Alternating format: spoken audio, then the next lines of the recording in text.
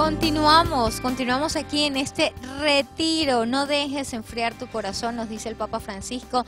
Y aquí desde Radio Natividad es el mensaje principal que hemos querido alcanzar con este retiro preparatorio de la Semana Mayor.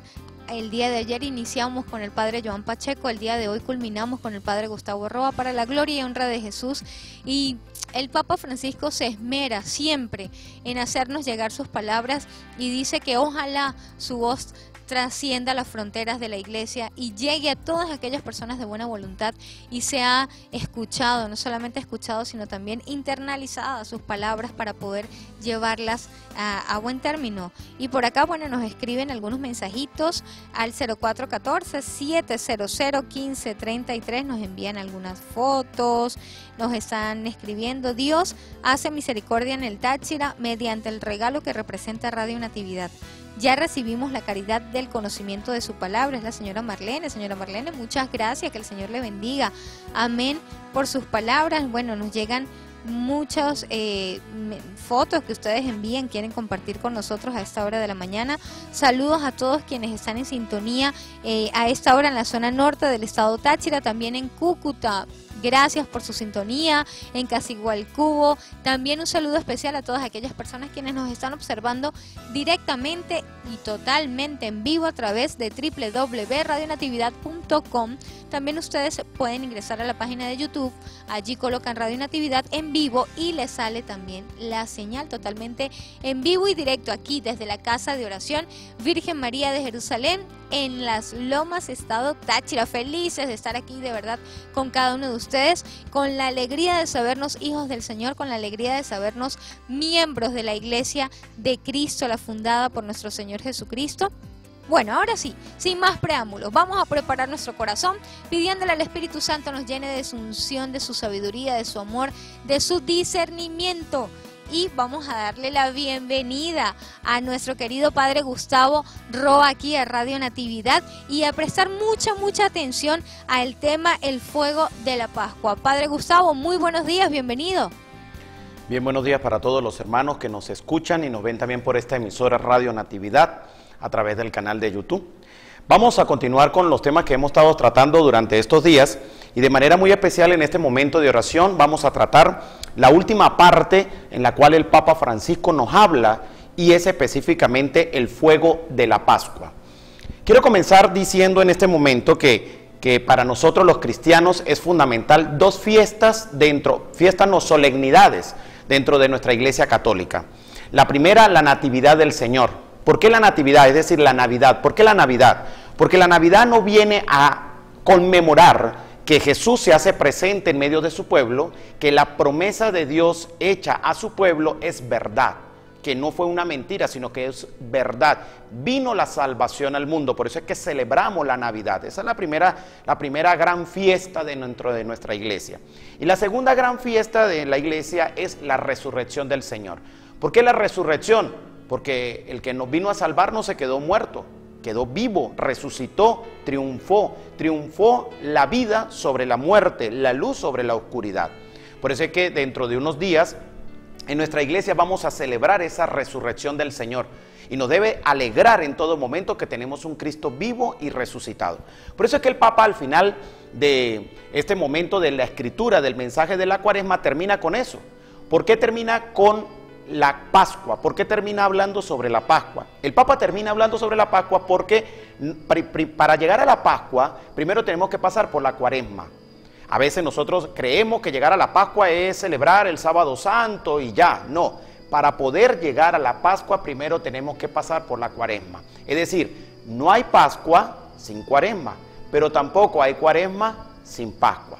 ¿Qué es más importante, la cuaresma o la Pascua? Las dos. Pero la Pascua viene a coronar lo que nosotros celebramos en el misterio de la fe, como es al Cristo vivo y resucitado, a Jesús, el Hijo de Dios, el Señor y Salvador. Por eso es que el Papa termina diciendo el fuego de la Pascua. La Pascua es la que me da la fuerza, la fortaleza, el espíritu. Ahí es donde se anuncia a ese Cristo vivo y resucitado. Por eso, antes de entrar más de lleno a lo que es el mensaje de lo que el Papa quiere y a la luz de la palabra, vamos a invocar la presencia del Espíritu en nuestras vidas. Vamos a orar, vamos a pedirle al Señor Vamos a pedirle al Espíritu que ilumine nuestra mente, que ilumine nuestros corazones, que nos dé la fuerza que necesitamos. Usted que nos está escuchando en este momento, únase a nosotros también a orar. Si está allí en la cocina, va en su carro, eh, está haciendo su vida cotidiana de limpieza en la casa, en su trabajo, donde usted se encuentre, ahí como está, en lo que está haciendo, únase a la oración. Invoque al Espíritu de poder. La palabra de Dios nos enseña que no se nos ha dado un espíritu de temor, no, no tenemos un espíritu de temor, tenemos un espíritu de fuerza, la fuerza de Dios en nuestras vidas, que lo hemos recibido el día del bautismo y el día de la confirmación. Valga la redundancia, se confirmó esa presencia de Dios en nuestras vidas. Por eso, hermano que me está escuchando, vamos a orar. Pidámosle al Espíritu de Dios que en este momento, en este rato que vamos a tener de oración y de palabra, sea Él quien nos guíe. Espíritu de Dios, ven a nuestras vidas Espíritu Santo, ilumina nuestras mentes, ilumina nuestros corazones. Llénanos de tu presencia, Señor, con la fuerza de tu Espíritu. Queremos pedirte en este momento, Señor, que con la fuerza de ese Espíritu Santo abras nuestra mente, abra nuestros corazones, abras todo nuestro ser a la escucha de la palabra. Espíritu de Dios, hazme instrumento de paz, instrumento de amor, instrumento de fe. Y que esta palabra que vamos a escuchar sea una palabra para liberar, para poder romper las cadenas del pecado, para sentirnos libres como hijos de Dios. Espíritu Santo, toca nuestras vidas. Espíritu Santo, ilumínanos. Pasa tocando a todos estos hermanos, hermanas que nos están escuchando en este momento. A esa señora que están en su casa, que están en su trabajo, a esos señores que están también en sus trabajos, en su vida cotidiana. Pasa sobre ellos, Espíritu Santo. A esas personas que están quebrantadas de salud en su cama, que están postrados en una cama, que nos están también escuchando en este momento. Tócalos, bendícelos y protégelos, Espíritu Santo. Espíritu de Dios, tócame, tócame, Espíritu Santo. Tócame, Espíritu Santo. Espíritu Santo. Tócame, Tócame, Espíritu de Dios. Espíritu de Dios. Vamos a decirlo una vez más. Tócame, Espíritu Santo. Espíritu Santo. Tócame, Tócame, Espíritu de Dios. Espíritu de Dios. Es que yo quiero sentir La fuerza, la de, fuerza tu de tu amor. Ven y tócame. Ven y tócame, Espíritu de Dios. Es que yo quiero sentir, dígalo con nosotros. Es que yo quiero sentir La fuerza de la tu fuerza de tu amor. amor. Ven y tócame. Ven y tócame, Espíritu de Vamos a Dios. decirlo una vez más. Tócame, Espíritu. Tócame, Espíritu Santo. Espíritu Santo. Tócame. Tócame, Espíritu de Dios. Espíritu de Dios. A ver, hermanos, díganlo todos. Tócame. Tócame, Espíritu Santo. Espíritu Santo. Tócame. Tócame, Espíritu de Dios. Espíritu de Dios. Es que yo quiero sentir Es que yo quiero sentir la fuerza de la tu amor. fuerza de tu amor. Ven y tócame. Ven y tócame, Espíritu de Dios. Espíritu de Una vez más en Dios. alabanza para el Señor. Es que yo quiero Es que sentir yo quiero sentir la fuerza de la tu amor. fuerza de tu amor. Ven y tócame. Ven y tócame, Espíritu de Dios. Espíritu de Dios. Regala tus dones sobre nosotros, Espíritu Santo, los carismas que necesitamos para que podamos ser testigos de la verdad, testigos del resucitado. María, Madre de la Iglesia, ruega, intercede, bendícenos, intercede por nosotros, Nuestra Señora de la Consolación. Amén. Amén. Le decía que es importante reconocer que estas dos grandes fiestas y solemnidades dentro de nuestra iglesia, como es la Natividad del Señor y como es la resurrección del Señor, nos hace a cada uno de nosotros poder testimoniar lo que nosotros creemos en la iglesia, que es en Jesucristo. Toda nuestra fe se fundamenta en Cristo. Por tanto, podemos decir que nosotros somos cristocéntricos, porque Cristo es el centro de nuestras vidas. Nace para darnos salvación y muere y resucita para darnos la victoria sobre la muerte. Junto con Cristo obtenemos la victoria. Por eso es que el Papa viene y dice al final del escrito sobre la cuaresma, habla sobre dos eh, palabras o dos frases claves que nos van a ayudar a nosotros a intensificar y a reflexionar más aún nuestra vida cristiana. La primera nos dice la luz y la segunda dice arder el corazón como los discípulos de Maús. ¿Por qué la luz? Dice el Papa en el escrito de, la cuaresma, dice el Papa, que el día de la noche santa, es decir, el sábado santo, cuando se empiece a encender las luces, cosa que se hace previo a las lecturas en la celebración litúrgica del Sirio Pascual, se van encendiendo todas las luces, dice el Papa, eh, a medida que la asamblea litúrgica se va iluminando, entonces eh, se va disipando las tinieblas, van desapareciendo las tinieblas, ciertamente, porque en ese momento todo está en oscuridad. A medida que se van encendiendo las velas, las luces se va extendiendo, se va disipando las tinieblas. Esa es la luz. La luz es aquella que va creciendo para disipar las tinieblas. Y por eso dice el Papa, hasta que llegue el momento del fuego santo, del fuego nuevo. ¿Quién es el fuego nuevo? El Señor. ¿Quién es el fuego? Jesucristo. Por eso es que yo quiero que entendamos que la palabra, en la palabra de Dios, cuando se habla sobre eh, la luz, hace referencia a una metáfora. Si ustedes revisan, yo reviso también en el libro del Génesis, en el versículo, capítulo número 1, versículo número 2, nos habla que Dios dijo que se haga la luz y se hizo la luz. ¿Por qué? Porque desde el principio está la luz, desde el principio está el iluminar, estaba las tinieblas, pero ¿qué hizo la luz? Se separó. ¿Qué hizo la luz? Separar lo que es tiniebla, lo que es claridad. Por eso es que en el mundo nosotros vamos a encontrar en todo momento lo que es luz y lo que es oscuridad. La luz, bíblicamente, es Jesucristo, la oscuridad, en las tinieblas, Satanás, el pecado, la corrupción, el desorden social, incluso aquello que no nos deja ser libres en nuestra vida cristiana. Quiero que aquellos que están escuchando este retiro y puedan tener su palabra, la Biblia en la mano, puedan buscar el libro, eh, el Evangelio de Juan, capítulo número 8, versículo número 12, para que veamos lo que Jesús nos dice con respecto a la luz. Y Él nos dice algo bastante interesante, yo soy la luz del mundo, pero vamos a leerlo textualmente como aparece en la palabra. Repito, San Juan, capítulo número 8, versículos del, perdón, eh, capítulo número 8, versículo número 12. Leamos.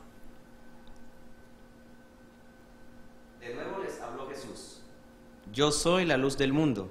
Quien me siga no caminará en tinieblas, sino que tendrá la luz de la vida. Fíjense lo que Jesús dice ahí muy claramente. Jesús no dice en la palabra de Dios, en ese capítulo número 8, versículo número 12, no dice en ningún momento, yo soy o me parezco a una luz, o soy reflejo de la luz, o soy este, un, pequeño, un, pequeño, un, pequeño iluminar en su vida. No, Jesús no dice en ningún momento eso. Jesús dice, yo soy la luz. Es decir, Él es el camino, Él es la luz. Porque podemos nosotros agarrar y creer que Jesús es como un símbolo. Jesús no es ningún símbolo, Jesús es el que es. ¿Y quién es Jesús? Luz en la vida, luz en el mundo. Por eso es que nosotros debemos entender en todo momento que aquel que no ha podido todavía encontrar en la luz, la luz, es decir, a Jesucristo, ciertamente vive en las tinieblas. Pero para ser más claros, vámonos al libro, lo que tiene la palabra de Dios y lo que no la tiene y está en su casa, busquen esa palabra para que meditemos lo que es el mensaje de Dios. Vamos a buscar Tesalonicenses, primera de Tesalonicenses, capítulo número 5. Primera de Tesalonicenses, capítulo número 5, versículo 5. Primera de Tesalonicenses, capítulo número 5, versículo 5. Mire lo que nos dice allí San Pablo en esta lectura. Todos ustedes son ciudadanos de la luz y del día. No pertenecemos a la noche ni a las tinieblas. Fíjense, mire como dice San Pablo en el versículo número 5, dice, todos ustedes son de la luz y del día. Ya y eso es una de las cosas que el Papa viene a reafirmar en el, en el, en el mensaje a la cuaresma. Ya por el hecho de Cristo haber resucitado, que no quedó en las tinieblas, que no quedó en la muerte, ya por esa resurrección nosotros pasamos a ser parte de la luz. O sea, somos hijos de la luz. San Juan, en el Evangelio de San Juan y en primera y segunda de San Juan, cuando nos habla de la luz, viene a hacer referencia a algo importante, en que nosotros nos unimos a Jesús para ser hijos de la luz. Mientras que en San Pablo nosotros hablamos, o San Pablo mejor dicho, habla sobre la luz para una transformación del ser humano. Es decir, con Juan se viene a hablar de una cristología de la luz, mientras que en San Pablo se viene a hablar de una antropología de la luz. La una o la otra lo que nos está buscando es que nos podamos unir acercar a la luz verdadera que es la que proviene del Señor. Por eso es que viene San Pablo y dice en ese versículo número 5, dice, todos ustedes son de la luz. O sea, ya por el bautismo, ya por la resurrección y por la vida de iglesia, nosotros no deberíamos de pertenecer a la oscuridad, sino hijos de la luz. ¿Quiénes pertenecerían a la luz o quiénes vendrían siendo hijos de la luz? Aquellos que aceptan con claridad y confirman con su mente y su corazón que Jesús es el Señor en sus vidas. Entonces vamos a ver actitudes de vida diferentes, vamos a ver este, actitudes de vida que nos llevan a creer, cambios de vida, testimonios de vida, haciendo lo que tenemos que hacer, pero haciéndolo bien. ¿Quiénes vendrían siendo los hijos de la oscuridad? Aquellos que no han reconocido a Jesús y por tanto viven en algo que se llama pecado, tinieblas, oscuridad. Tristemente la realidad que estamos viviendo hoy en día aquí afuera en la calle, en la sociedad, es de ese tipo. Es una sociedad donde se está viviendo en corrupción y para nadie es un secreto y eso no lo digo yo, sino lo ha dicho el Papa también. ¿Por qué se está viviendo en corrupción? Por dos cosas. Eso lo ha dicho el Papa Francisco, no, no en el escrito sobre la cuaresma, pero sí en otros escritos. Dice, una de las realidades, parafraseando un poco su mensaje, una de las realidades que estamos viviendo más fuertes en la sociedad es la corrupción, por dos cosas. La primera por el dinero, el dinero. El dinero nos hace, nos hace crecer, el dinero nos hace este, creernos grandes, el dinero nos hace, nos hace crecer y creer que somos mejores, entre otras. Y el poder. Dígame usted a quién no le gusta el poder. ¿A quién no le gusta poder, tener poder, valga la redundancia, sobre los demás? Eso es lo que nosotros queremos buscar. Uno, dinero y poder. El dinero que me ofrece, poder. Y el poder que me ofrece, dinero. ¿Quiénes actúan así? Los que todavía no han entendido que Jesús es luz, que me ilumina, que no todo es dinero, que no todo es poder. Y si tengo poder, no es para mandar y para hacer sobre los demás lo que yo quiera, sino que ese poder me viene de Dios para yo poder iluminar y poder servir a la sociedad. Más adelante dice el apóstol San Pablo, en ese versículo número uno, dice, no somos de la noche ni de la oscuridad. No somos de la noche ni de la oscuridad. Por tanto, mis queridos hermanos, una persona que vaya a la iglesia, una persona que diga creer en Dios, una persona que diga que lee la palabra, una persona que dice que reza a la Virgen, una persona que va a peregrinaciones ahorita en Semana Santa, pero su vida de actuar es totalmente diferente a lo que la palabra enseña y a lo que estamos leyendo en este momento, es una persona que todavía está viviendo en la oscuridad. Ejemplo, si usted este fin de semana, todos estos días, jueves, viernes, sábado, a las procesiones en la iglesia, a rezar los 33 credos, este, a rezar las novenas, hacer la visita a los templos, pero usted es un borracho, usted es un alcohólico, usted es un corrupto, eh, no quiere mejorar, le pega a la mujer, le pega a los hijos, golpea al primero que se consiga, las palabras que salen por su boca son una cosa terrible, ¿cómo podemos nosotros estar diciendo que estamos en una procesión o que estamos en un acto religioso o que estamos haciendo visita a los siete templos? Es decir, estamos viviendo todavía en la oscuridad y no queremos aceptar que Jesús es la verdadera luz. Podemos ir a visitar los siete templos, podemos ir a las procesiones que querramos, podemos ir a rezar todos los credos que usted quiera, hermano. Pero si no entendemos que esos credos, esas visitas a los templos, esas procesiones y demás, no me van a llevar a encontrarme con el resucitado que es la luz del mundo, la vida no tiene sentido. Es preferible no hacer nada porque estamos perdiendo el tiempo. Ahora bien, cuando nosotros aceptamos entonces a Jesús como luz del mundo, vamos a tener dos resultados.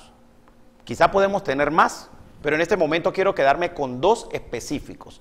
El primero es la alegría y el segundo es la esperanza. La alegría que no es estar echando chistes en todos lados, la alegría no es que me va a estar echando carcajadas a cada rato. La alegría no es que hay, este, cuento un chiste y todo el mundo se ríe, porque esta persona sí es alegre. No, esa no es la alegría como tal. Y la segunda es la esperanza. Eh, pues padre, ¿qué hago? La esperanza, me siento, espero que las cosas me caigan del cielo, eh, espero que me traigan. Eso tampoco es la esperanza. Eso, no querer, eso es no querer hacer nada. Vamos a verlo desde el punto de vista bíblico, qué es la alegría y qué es la esperanza. Repito, los que tienen la Biblia en su mano, Vamos a buscarlo. La palabra, la alegría, de lo que nos habla la, enseñanza sobre la alegría de los cristianos cuando aceptamos la luz de Cristo. Vamos a buscar Filipenses capítulo 4, versículo número 4. Repito, Filipenses capítulo 4, versículo número 4. Tengan siempre la alegría del Señor, lo repito, estén alegres. Fíjense lo que dice el apóstol San Pablo. Volvemos a repetir, leemos nuevamente. Tengan siempre la alegría del Señor. Lo repito, estén alegres. Fíjense, estén siempre alegres. Estén siempre alegres. Padre, yo siempre estoy alegre. Y eso porque yo donde estoy siempre he hecho cuento para que la gente ría. No necesariamente. Padre, yo siempre estoy alegre. Y eso porque yo voy a una fiesta, a una reunión, a un sancocho, a una reunión de familia y siempre que me ven a mí me dicen, llegó la pipa que le hacía falta la maraca. Por eso es que yo siempre estoy alegre, Padre. No necesariamente eso es alegría. La alegría parte del mismo reconocimiento de Dios. Coloco un ejemplo. La alegría no es un sentimiento, la alegría es una actitud de vida. Es decir, que mi actitud creyente en Jesucristo sea la misma, tanto en las buenas como en las malas. Que mi posición ante las realidades de la vida como creyente en Jesucristo sea la misma, tanto en las buenas como en las malas. Tanto en los momentos en que me produce, valga la redundancia, alegría, pues produzco alegría, porque mi alegría viene de Dios, mi estado de ánimo viene de Dios, eh, mi, mi actitud ante la realidad la tengo puesta en Dios. Pero también esa actitud es la misma que debo tener cuando yo siento que el mundo se me está cayendo encima. Es la misma actitud que yo debo tener cuando yo siento que la vida ya no tiene sentido. Mire cuántas personas hoy en día con esta situación que estamos viviendo socialmente quieren a veces hasta quitarse la vida.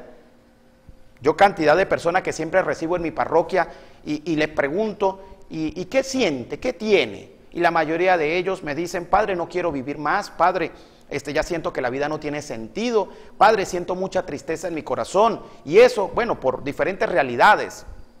Situación económica, social, eh, familiar, matrimonial. Sentimos que la vida ya, ya, ya no tiene sentido. ¿Por qué? Porque a veces perdemos esa, esa mirada, ese horizonte en Jesús. Pero usted llega y le pregunta a muchas de esas personas, ¿pero usted cree en Dios? Y me dice, sí. ¿Pero por qué se quiere morir? Porque ya no tengo ganas de vivir. Una persona que tiene a Dios presente en su mente y en su corazón no quiere dejar de vivir, al contrario, quiere vivir. Una persona que tiene a Dios en su mente y en su corazón no quiere morirse, quiere tener vida eterna, porque siente en su vida las ganas de echar para adelante, siente en su vida las ganas de ser mejor, quiere en su vida ser cada día este, mejor de lo que es, quiere echarle pierna a la vida porque sabe que hay un Dios que le bendice, que sabe que hay un Dios que le acompaña, sabe que hay un Dios que le protege. Yo sé que Dios está conmigo, Dios, yo sé que Dios me, me da la abundancia, me da, me da la fuerza para seguir adelante.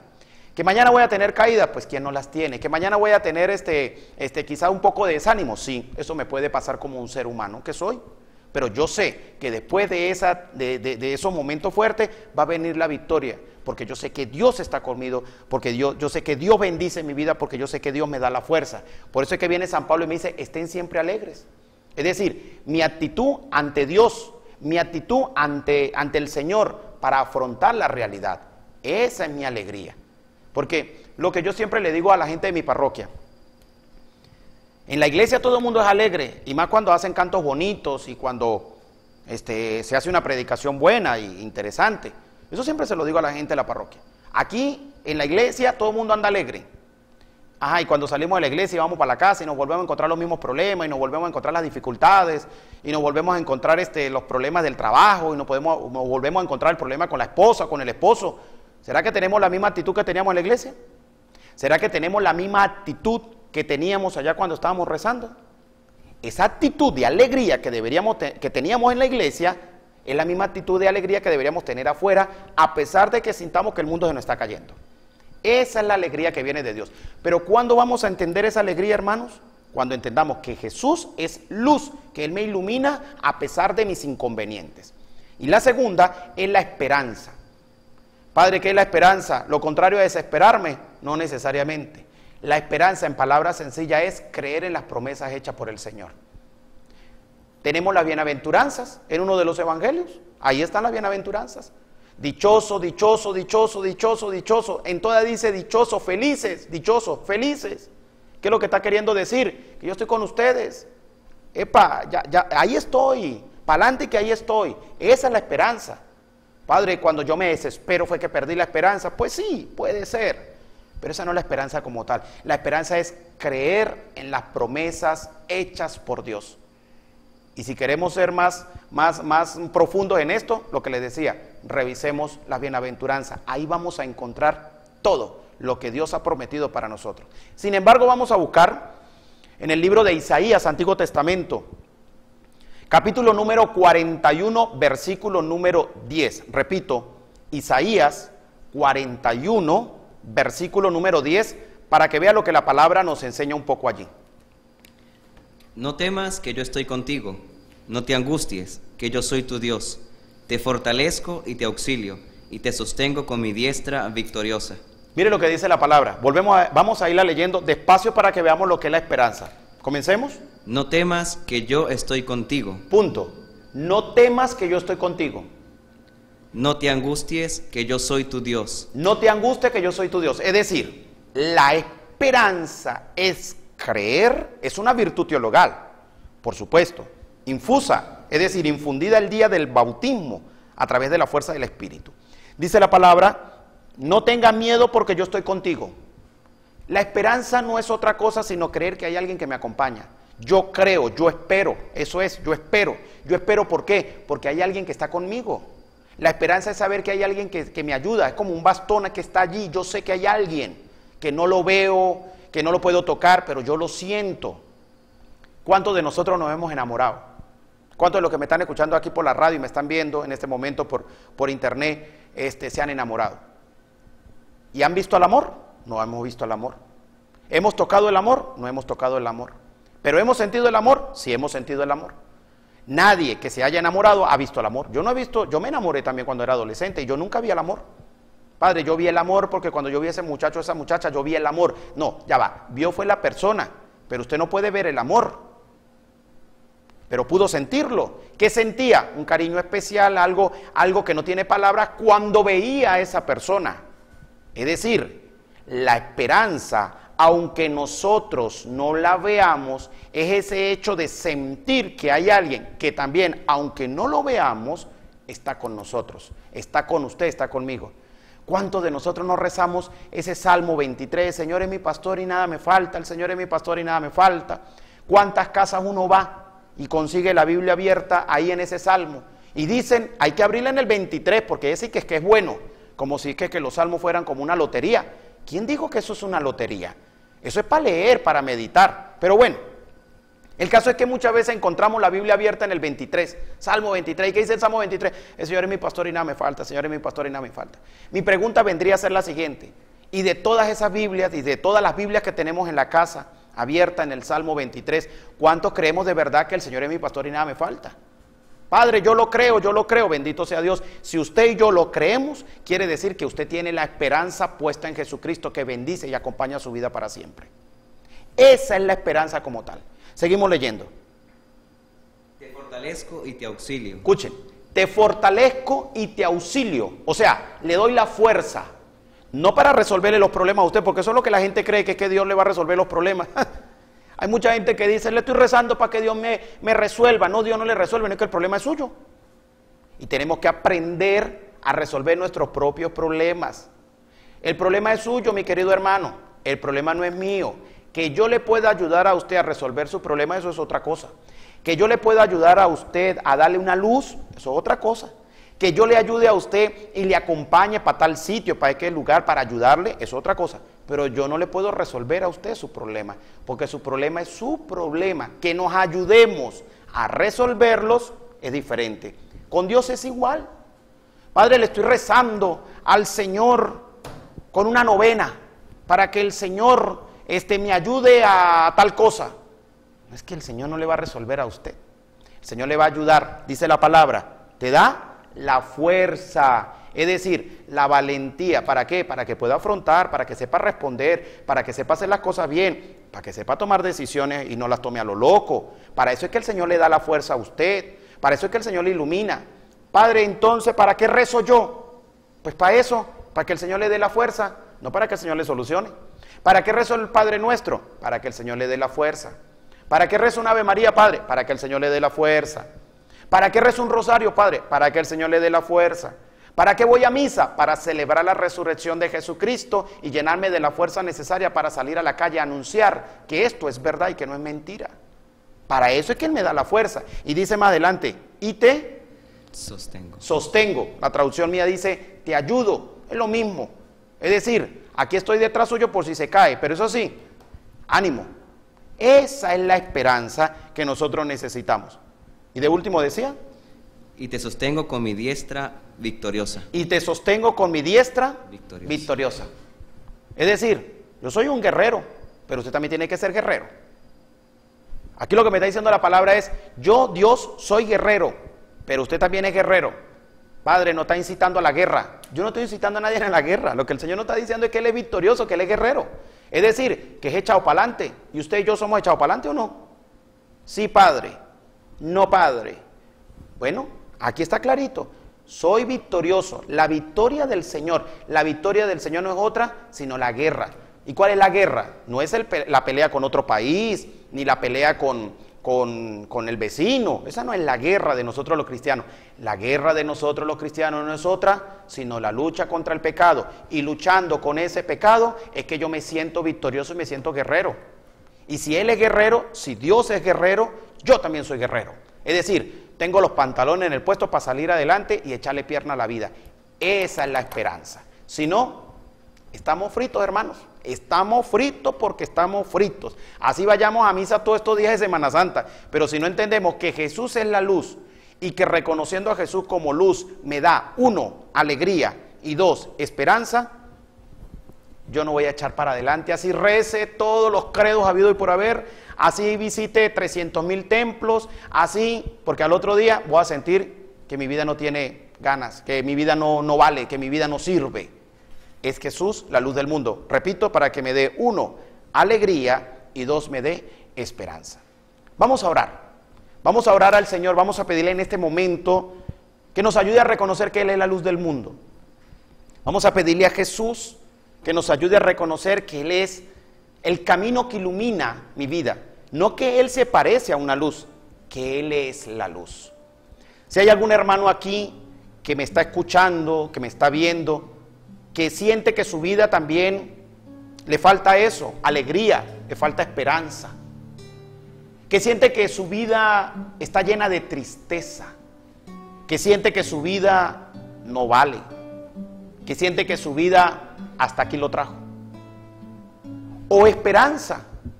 Siente miedo, siente que no puede, mira para los lados y dice ya no más. Falta de esperanza, ¿dónde está la guerra? La pelea contra el pecado. Vamos a pedirle a Jesús en este, en este momento. Únase a nosotros en esta oración, hermano, a través de esta radio, a través del internet. Únase. Y vamos a pedirle a Jesús. Señor, escuchando esta palabra, Señor, escuchando este mensaje, escuchando esta buena nueva, me doy cuenta que la alegría en mi vida no crece. Siento tristeza en mi corazón por diversas necesidades que me están pasando. Siento tristeza en mi mente, en mi exterior, en mi familia, por diversas circunstancias. Quiero pedirte, Señor, que, que toque mi vida para poderme levantar. Como decía el apóstol San Pablo, estén siempre alegres. Es decir, estar siempre en tu presencia, Señor. Ayúdame a estar en tu presencia, Señor. Ore con nosotros, hermanos. Ayúdanos, Señor, a hacer luz también y enciende el fuego en mi mente, Señor. Enciende el fuego en mi corazón. Enciende el fuego en mi vida. Enciende el fuego en lo que yo soy. Hay cenizas en mi corazón. Hay cenizas en mi vida. No tengo ganas de vivir, no tengo ganas de seguir adelante. No tengo ganas de, de, de de seguir luchando. No sé qué hacer, no sé qué decisiones tomar. Pasa, Señor, sobre cada uno de nosotros. Pasa, Señor, tocándonos en este momento a todos los que nos están escuchando, a todos aquellos que nos están viendo. Pasa colocando tu mano sobre ellos, Señor, para que puedan tomar buenas decisiones, para que sepamos también qué hacer. Pasa sobre nosotros. Eres la luz, Señor. Yo soy la luz, la luz del mundo, dice Jesús. Enciende, ilumina. Enciende, ilumina mi vida, Señor. Bendito seas. La luz de Jesús. De Jesús ha llegado al mundo. Una vez más, dígalo, la luz. La luz de Jesús. De Jesús ha llegado. Ha llegado al mundo. al mundo. Una vez más, díganlo con nosotros, a ver, canten. La luz de Jesús de Jesús ha llegado. Ha llegado al mundo. Una vez más, lo decimos en oración. La luz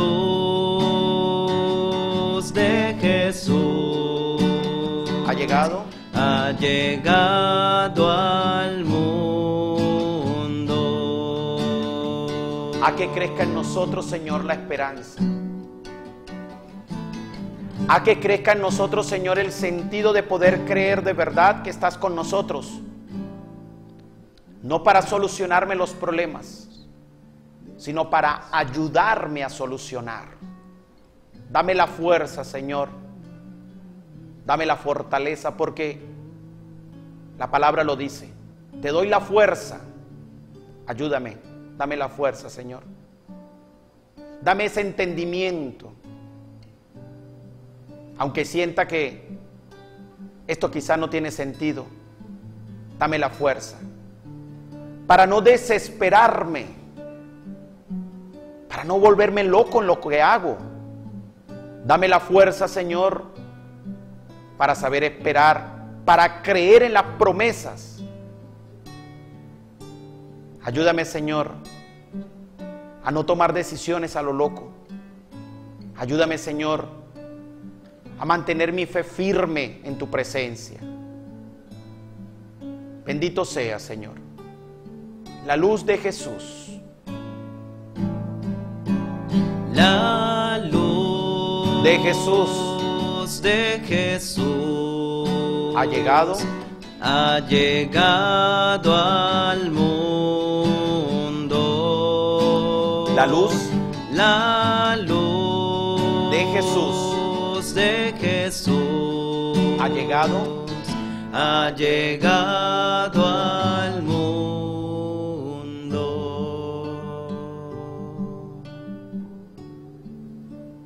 Qué importante es reconocer esto. Y lo que nos están siguiendo, recuerden, Jesús es luz del mundo y lo podemos ver reflejado en la alegría de nosotros y en la esperanza de nosotros. Una segunda parte en la que el Papa nos habla en este escrito de Cuaresma es que nuestros corazones ardan. Dice, arder nuestros corazones como los discípulos de Maús. Recuerden que la palabra de Dios en el Evangelio de Lucas nos lo enseña, que después en la fracción del pan lo reconocieron, reconocieron al Señor y sus corazones ardían. Salieron, anunciaron, llevaron la buena noticia que habían visto al Señor. Ahora dice el Papa también que en ese, en ese arder del corazón se da de dos maneras. Uno, a través de la escucha de la palabra y dos, del alimento eucarístico. Y aquí quiero centrarme en la primera parte. Mi corazón va a arder, su corazón va a arder, mi querido hermano, en la medida en que escuchemos, en la medida en que leamos el mensaje de la palabra. Nosotros los católicos, yo no estoy diciendo que está mal, ojo, que quede claro, no estoy diciendo que esté mal, pero es que los católicos, nosotros para rezar novena estamos hechos, para leer cualquier librito por ahí que salió sobre X o Y cosa, que no está mal, vuelvo y repito, no está mal, se puede hacer y hay que hacerlo, yo también lo hago. Pero es que nos quedamos solamente ahí. Devociones que son buenas, son interesantes, pero se quedan solamente ahí. Entonces cualquier novena que sale, la hacemos. Cualquier eh, este, cosa que sale por ahí, la hacemos. Está bien, pero la palabra. Dice el apóstol San Pablo que la fe crece, la fe aumenta en nosotros por el oído. Es decir, en la medida en que nosotros escuchamos la palabra, es que la fe va a crecer en nosotros. ¿Cuánta gente tenemos afuera en la calle en esta vida que estamos viviendo social, en este, este desorden social que estamos viviendo con la fe apática? Hay mucha gente que va a misa, mucha, demasiado. Yo a la gente de mi parroquia siempre le suelo decir, hay mucha gente que va a misa, demasiado. Y ahorita en Semana Santa, una gran cantidad. Y bendito sea Dios, ojalá que mientras más gente sea la que vaya, mucho mejor. Pero hay un pequeño problema, que es que la palabra no se escucha. No se escucha el mensaje. ¿Por qué no se escucha? Porque no todo el que va a la iglesia escucha la palabra. No todo el que va a la iglesia lee la palabra. Y esa es una de las debilidades que nosotros tenemos. Leer la palabra, meditar la palabra, orar con la palabra, me va a iluminar a mí, me va a dar el camino que Jesús, como decíamos anteriormente, que es luz, me va a dar para yo poder tomar decisiones, hacer, caminar, avanzar, eh, resolver problemas, no volverme loco, ubicarme en el tiempo y en el espacio y saber esperar en el Señor. Pero eso se da en la medida en que nosotros escuchamos la palabra. Padre, que, que yo no, no, no, no leo, porque yo no sé leer, ponga a alguien que le lea. Padre, que, que yo ya no veo, esa letra muy chiquita en la Biblia, ya yo no leo. Pues ponga a alguien que le lea y usted escucha y medita. A través de esta radio, a través de otros medios, ponga y escuche la palabra porque es fundamental. Esa va a ser una de las maneras para la que el corazón arda en nosotros. Y una segunda, dice el, Papa, es el alimento eucarístico. ¿Qué es el alimento eucarístico? La Eucaristía. La Eucaristía. Aquel hermano que pudiendo recibir la Eucaristía y no la recibe, es un hermano que está perdiendo la gracia de Dios a través del pan eucarístico, porque no se está alimentando espiritualmente. Dice eh, San Juan, el capítulo 6, dice, yo soy el pan bajado del cielo, quien me come a mí, vivo en él, y él vive en mí, yo soy el pan. O sea, yo vivo en él y él vive en mí. Hay muchos católicos cristianos que pudiendo recibir la Eucaristía, no la reciben ¿Por qué no la reciben? Porque sabemos que tenemos que confesarnos antes. ¿Y por qué no se confiesan antes? Por, por comentario de la gente, porque este, no quiero, porque me da vergüenza, porque me da pereza, porque no me gusta, porque he escuchado yo que, que, que por qué tiene que uno confesarse con otra persona, porque por X y mil circunstancias, por lo que sea. Hermano, si usted es católico y usted es creyente, usted es bautizado en la iglesia y no hay nada que le impida recibir la Eucaristía, ¿por qué no confesarse y recibirla? Para recibir ese, ese arder del corazón, para que mi corazón arda. ¿Cuántas personas hay en la iglesia que no pueden recibir la Eucaristía y desearían recibirla? Para ellos hay, abro un paréntesis, para ellos hay, una, hay un trato muy especial que el Papa nos ha invitado y es a tener esa dirección espiritual para ellos, que aunque no puedan recibirlo sacramentalmente, lo pueden recibir de manera espiritual, por eso deben hacer una dirección espiritual y a todos ellos los invitamos a la iglesia, a participar de las actividades de la iglesia, a servir en la iglesia, a ayudar en la iglesia. Cierro el paréntesis con lo que continuaba. Entonces, si pudiéndolo recibir no lo recibimos, ¿por qué? ¿Qué pasa? Estamos dejando que el corazón no arda. Estamos dejando a un lado que el corazón no se encienda. Recuerden, hermanos, para que eh, el arder de nuestro corazón se dé, palabra y Eucaristía. Escuchar la palabra y recibir al Señor. Y aquellos que no la pueden recibir sacramentalmente, de manera espiritual. Pero quiero finalizar este momento de, de oración y de predicación a través de algo que es importante para culminar esto que hemos hablado hasta ahora con respecto a que el corazón arda. Cuando en un cristiano escucha la palabra, eh, se alimenta con el pan eucarístico, su corazón va a arder. Y eso va a traer un resultado. ¿Cuál va a ser el resultado? Y es este, que somos testigos del resucitado. Si usted escucha el mensaje de la palabra, recibe la comunión, el corazón arde. Y al arder, repito, testigo del resucitado. ¿Y qué es ser testigo del resucitado? Vamos a revisarlo desde la palabra de Dios con el Evangelio de San Mateo, capítulo número 28, versículos del 5 al 6. Repito, San Mateo, capítulo 28, versículos del 5 al 6. Escuchemos. El ángel dijo a las mujeres, ustedes no teman, sé que buscan a Jesús el crucificado. No está aquí, ha resucitado como había dicho. Acérquense a ver el lugar donde yacía. Me llama la atención de este versículo del 5 al 6 lo que el evangelista dice. El ángel le dijo a las mujeres, no tengan miedo. Yo sé que están buscando a Jesús, el que fue crucificado. No está aquí, ha resucitado. Todo eso lo podemos resumir en una sola palabra, o en una sola frase, mejor dicho. No tengan miedo. ¿Quién es testigo del resucitado? Aquel que no tiene miedo. Padre, ¿y no tiene miedo a qué? A los espantos. ¿Cuáles espantos? No estamos aquí hablando de espantos. Los espantos, esos son cosas que nos hemos creado en nuestra mente y en todos lados estamos viendo sombras y estamos viendo en todos lados que la gente me persigue y estamos viendo en todos lados que, la, que en el techo hacen bulla y que, y que la cama me la mueven y que la silla me la mueven y que a mí también me mueven. Y no, no, no, no, no. El miedo del cual nos habla la palabra, eh, que el ángel le dijo en la palabra de estas mujeres, no tengan miedo, es tranquilas, el Señor está vivito y bien vivo. Ahora, ¿cómo podemos llevar este miedo para reflexionar a nuestra vida? Cuando nos dice, no tengan miedo, lo que está queriendo decir es, crean de verdad, no es una mentira, es verdad, ha resucitado. Y eso es lo que vamos a empezar a celebrar desde el sábado santo por la noche durante 50 días llamado la Pascua. Y comenzaremos el sábado en la noche, vuelvo y repito, con, esa, con ese despertar de nuestra fe nuevamente. No hay que tener miedo. Ahora, Padre, no hay que tener miedo a qué? No hay que tener miedo al anuncio de la palabra. No hay que tener miedo a profesar de que somos cristianos. No hay que tener miedo a profesar que somos católicos. No hay que tener miedo a decir la verdad. No hay que tener miedo a decir lo que es, lo que viene de Jesús. No hay que tener miedo. Padre, este, en mi casa yo no puedo hablar de Dios porque que si yo hablo de Dios se ponen bravos. Y entonces si se ponen bravos, entonces este, este, me ponen mala cara. No tenga miedo. ¿Por qué tiene que tener miedo? Padre, en mi casa yo no, yo no puedo cargar la Biblia, porque si yo cargo la Biblia me empiezan a echar broma. Y como me empiezan a echar broma, yo prefiero quedarme quieto porque es que me hacen sentir mal. No tenga miedo. Porque aquel que cree de verdad en el resucitado, aquel que es testigo del resucitado, no tiene miedo a demostrar que de verdad Dios vive en medio de nosotros. No le da miedo.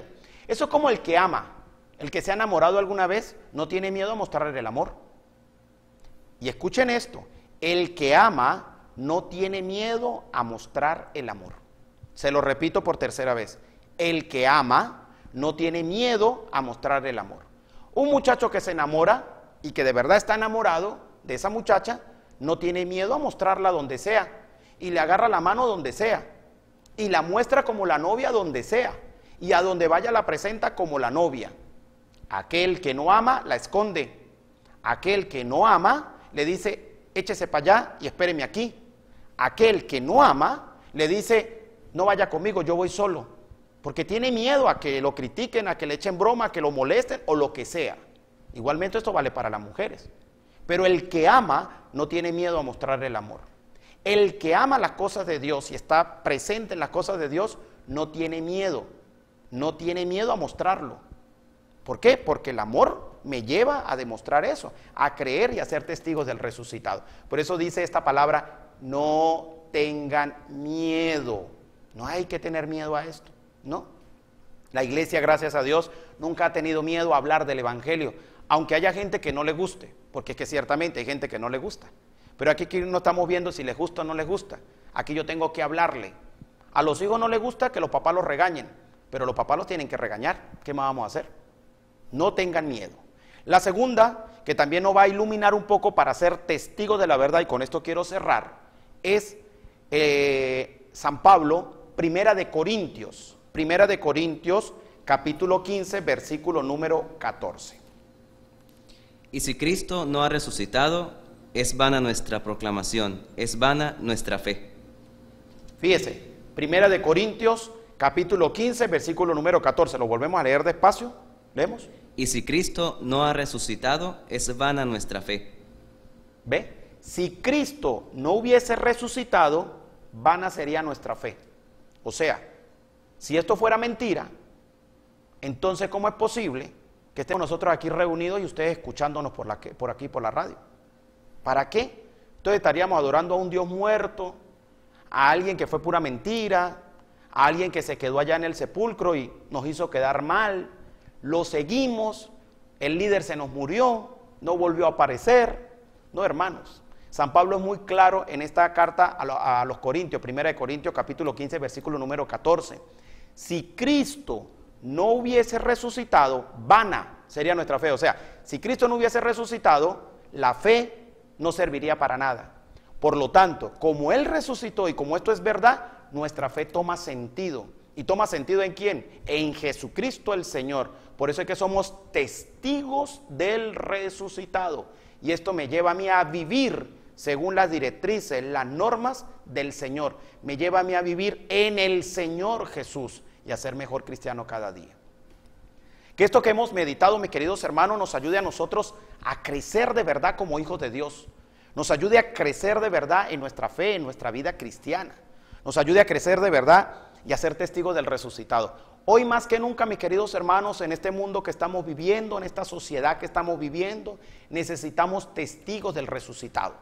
Usted y yo, testigos del resucitado, testigos de Jesús en la buceta, en el transporte, en el autobús, en el trabajo, en la casa, en la familia, con el novio, en, la, en la vida cotidiana. Necesitamos ser testigos. ¿Y cómo tenemos que ser testigos? haciendo lo que nos toca que hacer, haciéndolo bien, haciéndolo de la mejor manera, portándonos como, como nos enseña el Evangelio. No necesitamos gente que camine por el aire, no, gente de esa no necesitamos. Necesitamos gente de carne y hueso normal, como usted y yo, pero eso sí, con una manera de pensar diferente y con una manera de sentir diferente.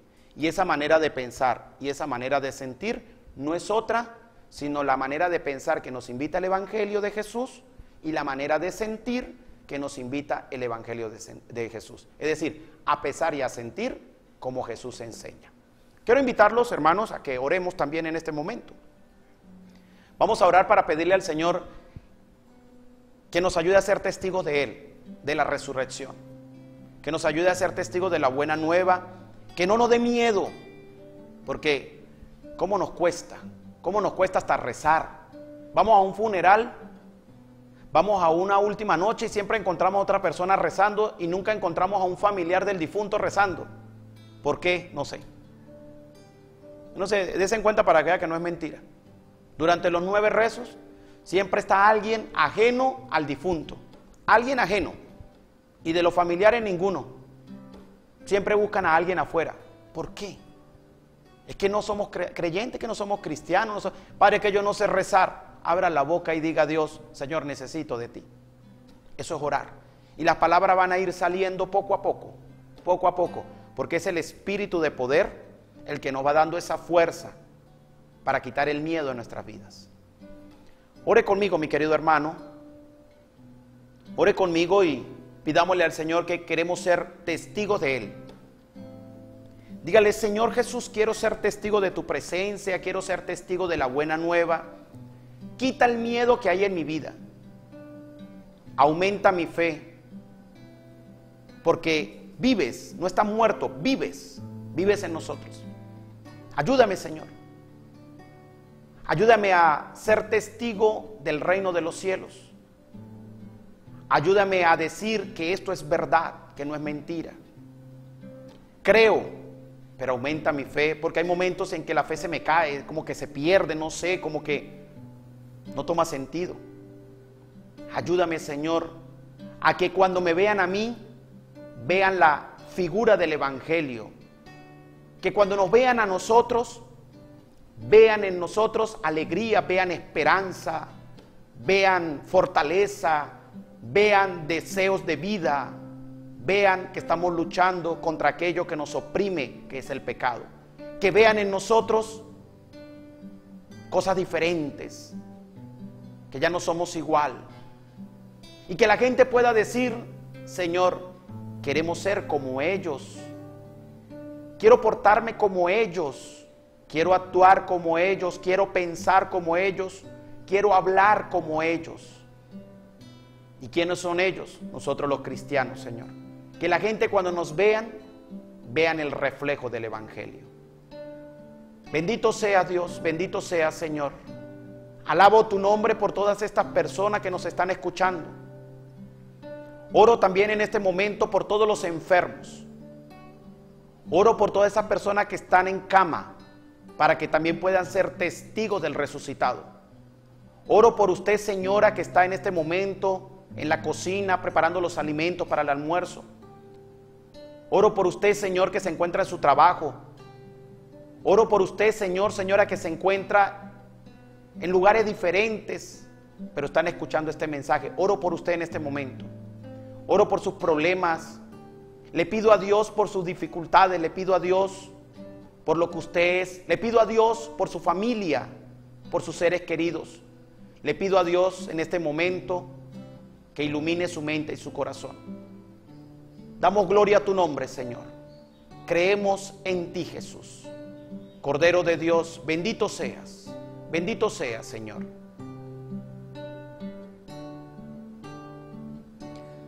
El Señor es mi luz y mi salvación.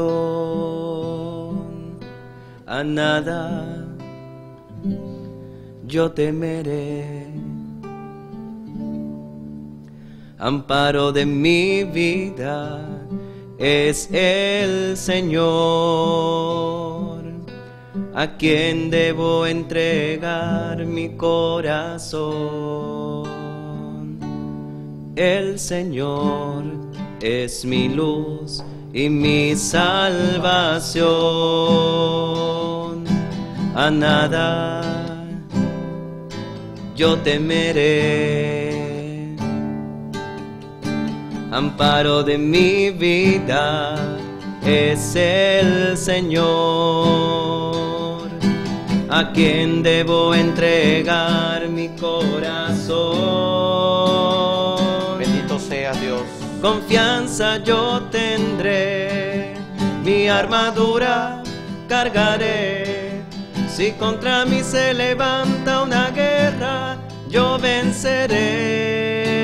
Cántele a Jesús y órele al Señor. Confianza yo tendré, mi armadura cargaré. Si contra mí se levanta una guerra, yo venceré. Pídale al Señor en este momento que le dé la fuerza, que le dé la gracia, que le dé la fortaleza que tanto necesitamos. Pídale a Jesús ahí donde está. Que nos ayude a ser testigos de Él. Para luchar en medio de la batalla. Ser, se es testigo de la luz, testigo del resucitado. No solo en los momentos felices, los momentos de alegría. se es testigo del resucitado, más aún en los momentos de lucha, en los momentos difíciles, en los momentos fuertes. Ahí es cuando más toma sentido ser testigo del resucitado. En medio de esta situación social es cuando más necesitamos ser testigos del resucitado.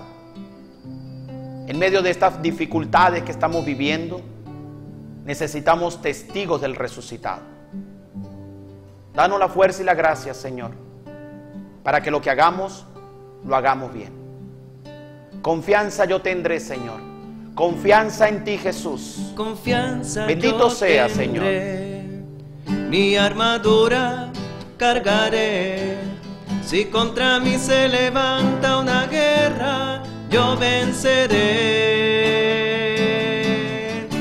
Confianza yo tendré. Mi armadura. Mi armadura cargaré.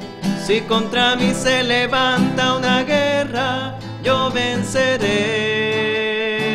Oh, yo venceré.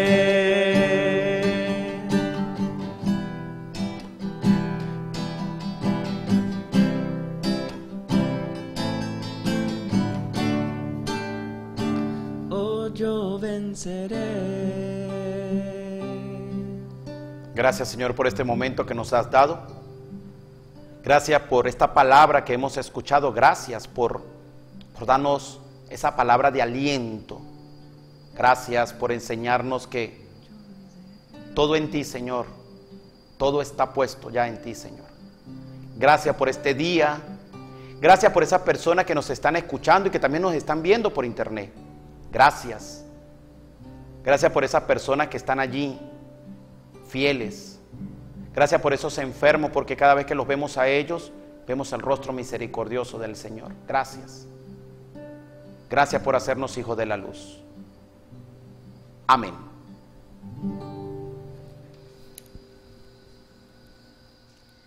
Amén, amén, Padre Gustavo. Qué hermosa reflexión acaba de compartir con nosotros. De verdad estamos muy agradecidos con nuestro Padre Dios por permitirnos escuchar y nutrirnos siempre aún más de su palabra, siempre aún más de su presencia, de la presencia viva del Espíritu Santo. Padre Gustavo, por acá varios mensajes de texto, eh, unas personas saludándolo, otros reportando sintonía desde la Castra, desde Tibu, dice por acá, hola, buenos días, un saludo para los, los de Radio Natividad, un programa muy lindo, que Dios los bendiga de acá de Tibu. Padre, por acá también nos preguntan quiénes no pueden recibir la comunión, a propósito de, la reflexión que usted compartía con nosotros. Bien, este, pues ciertamente eh, la iglesia pues nos ha enseñado que lo que recibimos la comunión es aquellos que pues están eh, que no hay nada que le limite como tal, que no hay nada que le separe de algún sacramento. Eh, a ver,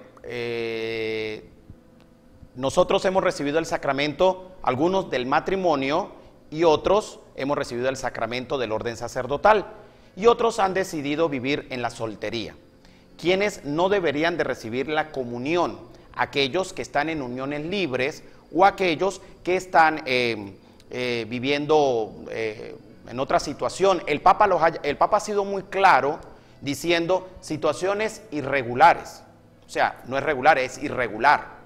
Estas situaciones irregulares deben ser atendidas de una manera especial. Ojo, que quede claro, la iglesia no está corriendo a nadie, la iglesia no le está diciendo a nadie, mire, chao, hasta aquí, fuera, no, nada, en ningún momento, al contrario.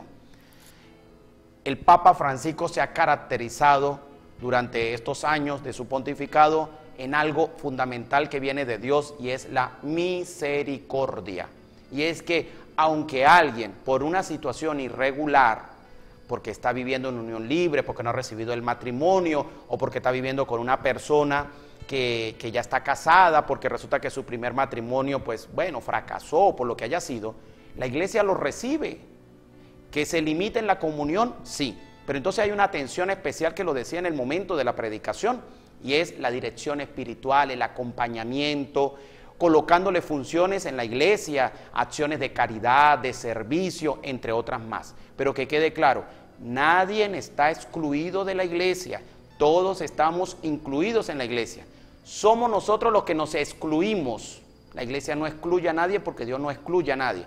Solo que algunos que podemos estar en situaciones irregulares nos limitamos a no recibir la comunión debido a esa situación.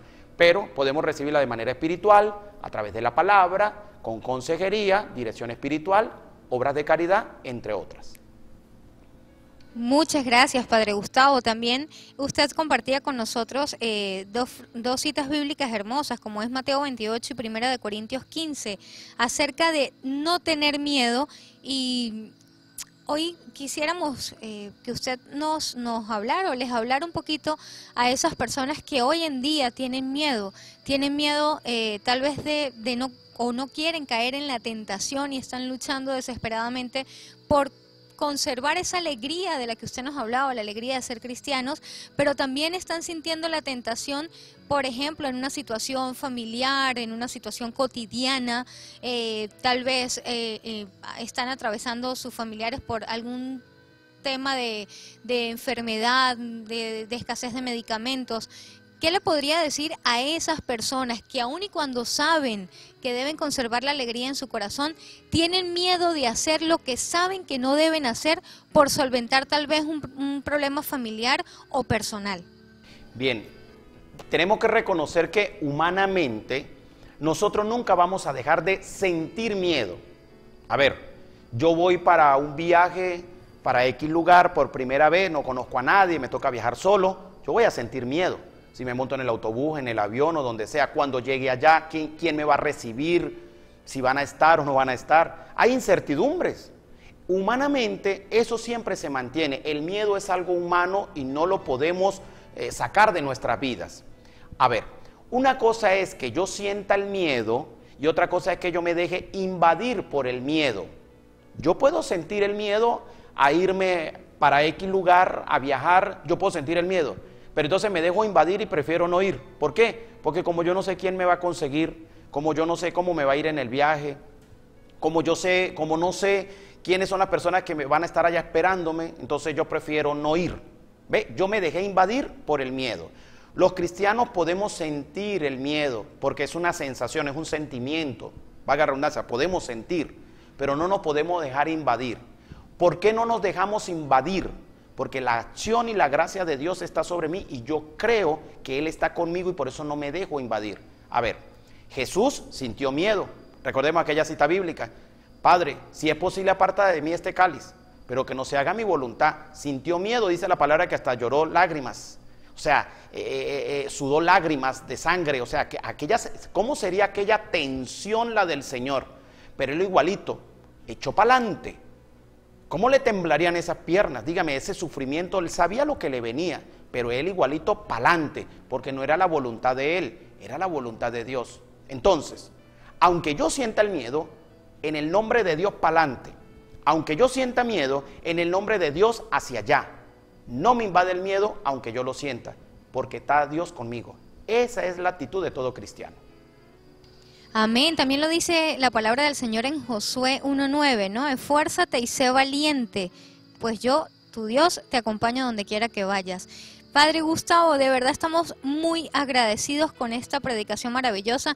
Además de recordarnos, usted nos recordó que el Señor nos sostiene con su diestra victoriosa y que Él es luz. Y si nosotros nos hacemos testigos del resucitado, nos hacemos testigos de la luz.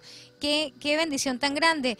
Padre, el que ama no tiene miedo a mostrar el amor. Quiere decir con esto que, por ejemplo, para mostrar mi amor por Jesús, debo, ¿qué debo hacer? ¿Qué debo hacer puntualmente? Porque hay, hay personas, tal vez eh, dentro de nuestra iglesia, se acercan, van todos los domingos a misa, como usted lo decía, pero realmente en su casa no demuestran una actitud eh, pues que vaya consona con lo que con lo que hacen en la iglesia no de hecho hay un hay un este un dicho que dice luz en la calle oscuridad en la casa qué podemos hacer para mostrar ese amor por, por nuestro resucitado, por el amor verdadero que es Jesús, no solamente en la calle, en la comunidad, con los hermanos, sino también en mi casa, con mis hijos, con mi esposo, con mi mamá, con mis hermanos lo decía hace rato en la, predicación y, lo voy a, recordar eh, puntualizándolo en una sola palabra, testigo. El que ama no tiene miedo a mostrar el amor. Como usted decía, esa gente que va a la iglesia, que ora, que reza y que demás, y que a veces en la casa, en el trabajo, una cosa totalmente diferente, es porque no es testigo de la verdad, o sea, no es testigo del resucitado. Lo que falta es testimonio, cosas puntuales. Ahora, ¿qué es ser testigo? Ser testigo es hacer lo que Jesús me enseña a hacer, aportarme como Jesús me enseña a aportarme, pensar como Jesús me enseña a pensar, sentir como Jesús me enseña a sentir. Eso es ser testigo. En palabras sencillitas, coloquiales, pues, tengo que hacer lo que me toca que hacer, pero hacerlo bien. El papá, pues haga bien el papel de papá. ¿Por qué? Porque tiene que hacerlo bien, de la mejor manera. Papá borracho, un papá que golpea, un papá que maltrata a su esposa, un papá que, que se olvida que tiene hijos, aunque diga creer en Dios, no es testigo de Dios. ¿Por qué no es testigo de Dios? Porque hace todo lo contrario a lo que el Evangelio me enseña. Entonces no estoy siendo testigo de la verdad, testigo del resucitado. Y así sucesivamente con muchos ejemplos. Entonces todo se resume en una sola palabra. Testigo. Yo soy testigo. Y ser testigo es hacer lo que me toca que hacer, pero hacerlo bien, de la mejor manera. No tanto porque yo quiero, que, que sí, pero sobre todo es porque eso me lo enseña el Evangelio y tengo que hacerlo y es así. Muy bien, padre. Eh, bueno, para finalizar, padre, primero que todo dándole las gracias una vez más por aceptar este llamado, por siempre estar dispuesto a, a evangelizar y por ese ministerio sacerdotal que hermosamente usted lleva. Padre, para gracias para la gloria de Dios y gracias a Dios a Radio Natividad la escuchan también en los centros penitenciarios. Las personas que están privadas de su libertad escuchan Radio Natividad y están escuchando en este momento algunos de ellos eh, esta predicación. Una bendición especial para las personas que están privadas de libertad, que están secuestradas, y también para aquellas que están, como usted lo decía, postradas en sus camas padeciendo de alguna enfermedad. Bien, para las personas que están privadas de libertad, le voy a repetir las palabras del Papa Francisco cuando fue a Bolivia a un centro penitenciario y le dijo a todos los que estaban ahí, ustedes no están excluidos, ustedes están incluidos. El hecho que estén privados de la libertad no significa que estén fuera de, están dentro de. Y recuerden esto, hay alguien que los ama, estén donde estén, hay un Dios que los quiere, estén donde estén, hay un Dios que los bendice, estén como estén, estén como estén. Y no importa el pecado que haya cometido, no importa la falla que haya cometido, lo que importa es que si tiene actitud de arrepentimiento y quiere de verdad ser mejor, Dios le va a acompañar y Dios va a estar con usted y ese pecado se va a borrar. Crea eso de verdad, mi querido hermano que está allá en el centro penitenciario, que nos están escuchando, no importa lo que haya hecho, no importa lo que haya sucedido. Si tiene actitud de arrepentimiento, Dios derrama su misericordia sobre usted. Porque eso es lo que Dios quiere, un corazón contrito, un corazón que se humilla y dice, pequé, me equivoqué, Señor, necesito de esta gracia. Y para los que están allí postrados en las camas, que le pidamos al Dios de la vida que la enfermedad sea para nosotros un medio de santificación, un medio de purificación. Los católicos tenemos un error y es que cada rato estamos buscando sanación en todos lados, pero no buscamos santificación en todos lados. Donde hay sanación, allá estamos que el Padre va a hacer tal cosa, todo el mundo corre para allá. Que el Padre va a hacer este, una oración de sanación, todo el mundo corre para allá. Yo no estoy diciendo que no vayan, vayan o vayamos. Pero es que buscamos sanación, pero no buscamos santificación. Y deberíamos buscar primero santificación y la sanación física se irá dando poco a poco.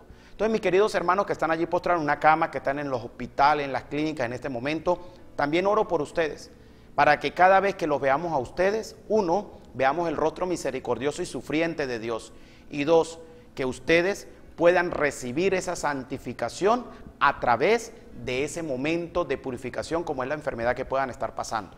Que esa enfermedad los ayude a encontrarse con Él, los ayude a, a hacer cada día mejor, los ayude a ofrecerlo incluso hasta por sus seres queridos, familiares, amigos, que esa enfermedad sea elevada como medio de purificación para todos ellos. Amén, amén. Muchísimas gracias al Padre Gustavo Roa por acompañarnos y cerrar tan hermosamente este retiro de la Semana Mayor. Padre, muchas gracias, que Dios le bendiga a usted y a los chicos que hoy le acompañan y a su ministerio sacerdotal. Dios le bendiga, Padre. Bueno, muchas gracias a ustedes, que Dios les bendiga siempre y termino dándole la bendición. El Señor esté con todos ustedes, con tu espíritu y la bendición de Dios Todopoderoso, Padre, Hijo y Espíritu Santo, descienda sobre cada uno de ustedes, les acompañe, le bendiga siempre y a vivir el misterio de la pasión, muerte y resurrección de Jesús.